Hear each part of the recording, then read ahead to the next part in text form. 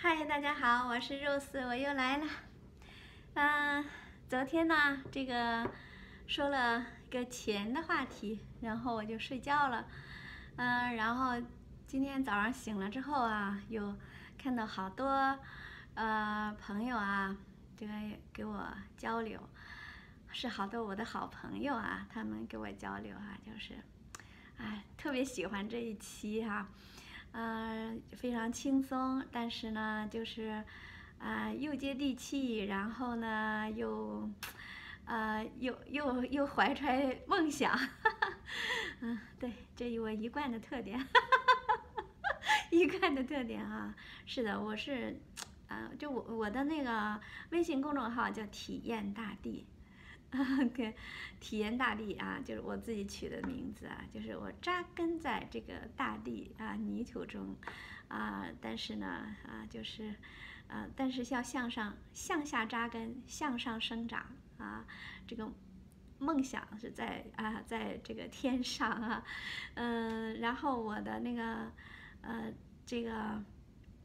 自己的教育公司的名字是柔木教育哈，柔木啊就是是出自圣经的哈。那么我对我的这个柔木教育的解释啊、解读哈，就是呃呃就是温柔、谦卑啊、饥渴慕义啊，这个呃也就是我的这个呃这个呃油管上大家看的啊，你要看我的油管那个首页，大概就能看到有这么几个几行字嘛，就是跟史金霞老师拥抱自由和幸福，柔木教育体验大地啊，温柔谦卑，饥渴慕义，承受地土必得饱足，这是啊，就是我。我的一个愿景啊，啊，也是我一个一个我的人生，还有我的事业，啊，作为一个教育工作者啊，就是我的追求。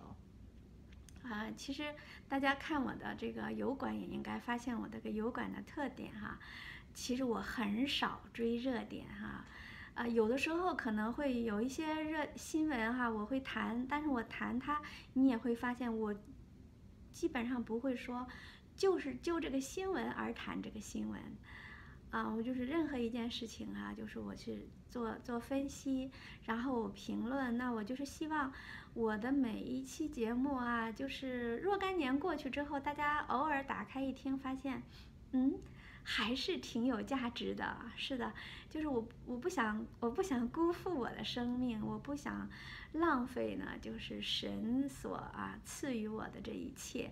啊，所以我不会去做迎合这个啊低端市场的东西，真的我不会做这些哈、呃，就是为什么不做这些呢？因为我，哎，就是也是有职业病吧，也可能说，啊、另外也是我在。我这个人呢，就是在这个精神啊、心灵啊、这个人格这个方面，我其实是有一点洁癖的。嗯，对，就是我不能容忍自己去做违背我自己的这个人生的原则的事情哈。呃，也就是说，嗯，我是一个教育工作者，我我做教育啊，做了快三十年了哈。那么。教育这个事情啊，它实际上是一个反人性的事情，真的哈，它是个反人性的事情啊。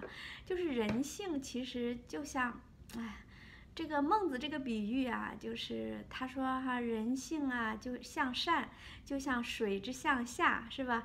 水无有不向下者，所以人性无有不向善者。其实孟子这个比喻是一点都不符合逻辑的。水向下，那是水就向它的下呗。水向下，怎么就会人向善呢？善是下吗？是吧？啊，所以孟子这个比喻其实非常不合逻辑，一点经不起推敲的。呃，但是我这里拿它来说，就是人性就像水一样，是向下的。啊、真的是向下的，就是向下，就是你你你你，大家想一想啊，你看。我们要但凡知道一个人说要他堕落了，你就会发现，他只要有了第一次，就会有 n 次，啊，这是我为什么前面我说过，说家暴呢？你如果你就是你允许了，第二次发生。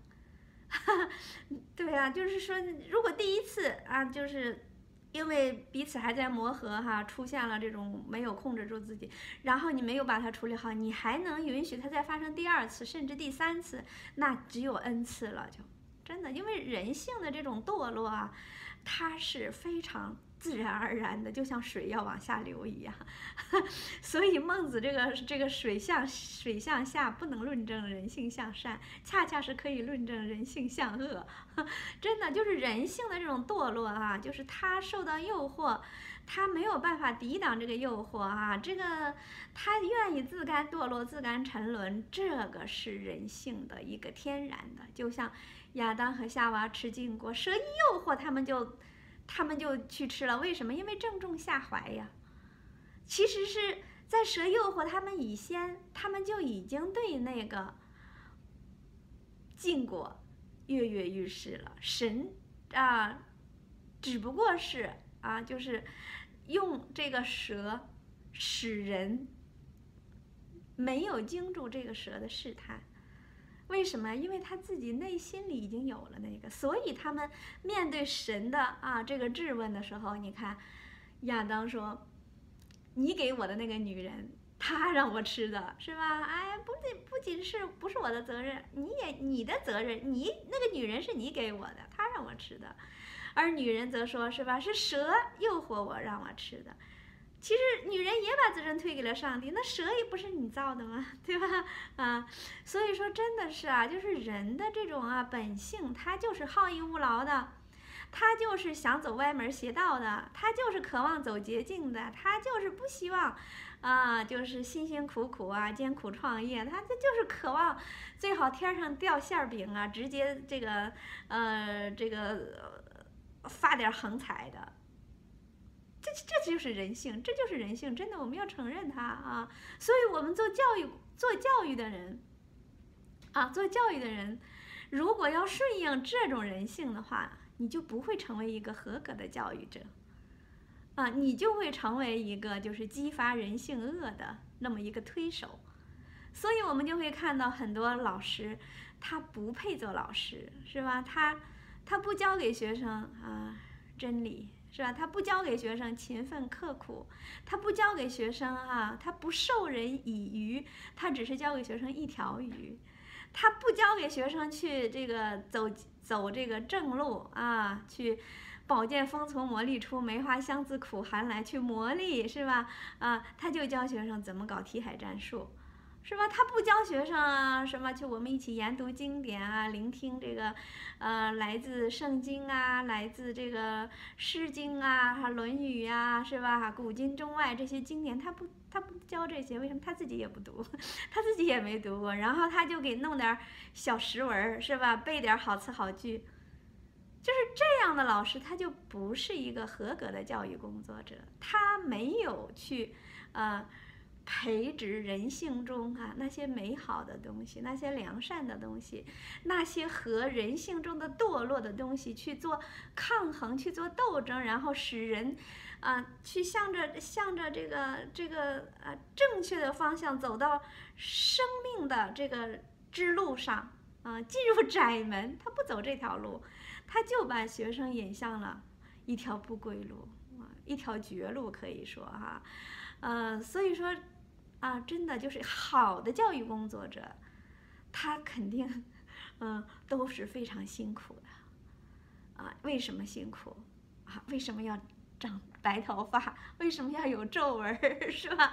啊，嗯，为什么 要有干眼干眼症？是吧？啊，为什么要夜不能寐？啊，为什么要早早醒来？是吧？就是因为他有忧虑呀。是吧？嗯，就是先天下之忧而忧啊，宁鸣，嗯而生啊，不默啊，宁鸣而死，不默而生啊，对吧？这个这个大家可能也知道了吧？就是因为范仲淹是苏州的嘛，是吧？哈，这个，然后苏州呢，就是排了一部戏《灵乌赋》啊，就是范仲淹，嗯，其实这个《灵乌赋》呢，是我们。有些知识分子很熟悉的，哈哈，呃，像我们这样的哈，但是有很多人都不熟悉，但是我的学生们都熟悉，因为我在去年讲范仲淹的时候给他们讲过哈，里边的名句哈，就是这两句啊，就是呃，宁鸣而死，不默而生啊，是吧？啊，这个是由胡适拎出来的啊，胡适特别喜欢这两句。啊，这也是表示了这个知识分子的不畏惧强权哈，不害怕暴政啊，这种，呃，要言论自由，宁肯死是吧？也要维护言论自由哈，这个人格独立啊，这种精神。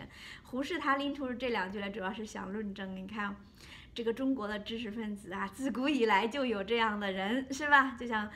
鲁迅说的：“我们自古以来就有那种啊有脊梁的人啊，就有那种啊不怕死的人，就有那种为民请命的人，是吧？啊，就有这样的人，啊，但是这样的人呢，现在生活越来越艰难了，对吧？我们看那个新闻了吧，看到了吧？就是因为有这两句台词，这是你排范仲淹的《灵无赋》，你是不可回避的两句，这是《灵无赋》里边最最这个。”这个有震撼力、流传千古的两句，但是因为这两句说是敏感，然后这个戏得被禁演了。我的天，这什么？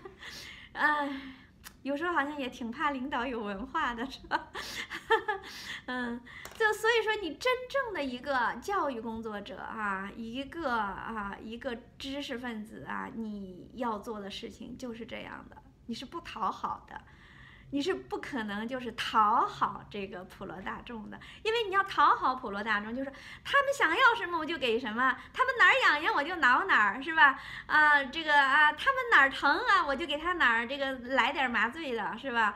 啊，他们渴什么渴念着什么，然后我就给他喂点什么，这不是一个教育工作者要做的事情，啊，那是投机投机分子要做的事情，嗯，那么。是的，呃，所以我可能就是摆脱不了这个啊好为人师的这个毛病吧，嗯嗯嗯，就给大家随便聊这么点儿哈，就是啊，就是说教育真的是一个啊是一个漫长的旅程，啊，因为我们人的成长是要成长一辈子的哈，所以它是一个窄门啊，是一条少有人走的路啊，它是没有捷径的。啊，所以我们做父母的啊，做老师的啊，然后呢，做文化啊工作的、教育工作的哈，然后呢，呃，就是想让自己的生命啊，就是当我回首往事的时候，不因碌碌无为、虚度年华而悔恨。嗯，真的就是你会想，我们其实日常生活，我们就是在和我们的人性的软弱、幽暗。啊，堕落啊，这个啊，骄傲啊，贪婪这些做斗争，这是一条漫漫的长路，我们一起走，OK。当然，单凭我们的力量是做不到的，我们要依靠神。所以欢迎大家加入我的每日读经，《创世纪》已经读完了，你可以啊，打开那个《创世纪》的这个呃播放列表，从头开始听了，然后《出埃及记》我们刚刚开始，我刚刚。